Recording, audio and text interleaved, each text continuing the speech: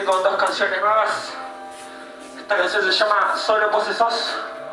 Y la próxima, Verso de Guerra,